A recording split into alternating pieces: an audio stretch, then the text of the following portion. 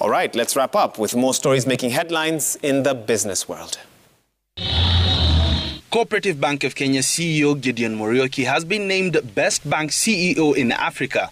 Muriuki was awarded the annual Africa Banking Awards, in which he was celebrated for focusing on financial solutions for both businesses and households during the ongoing COVID 19 pandemic. The award also recognizes the CEO for holding on full staff in a period which most organizations had scaled down on employees.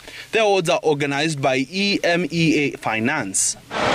Elsewhere, the Central Bank of Kenya has terminated the operating license of mobile money transfer service.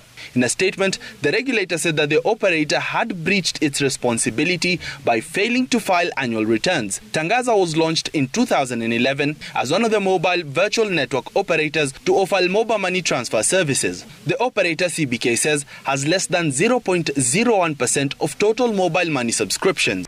Tecno and the Camon Series in particular. And finally, Tecno Mobile has unveiled a new range of smartphones in its camera-centric Camon line. The manufacturer says that the Camon 18 and the Camon Premier will compete in the mid-range series set between its flagship Phantom and its entry-level Spark series.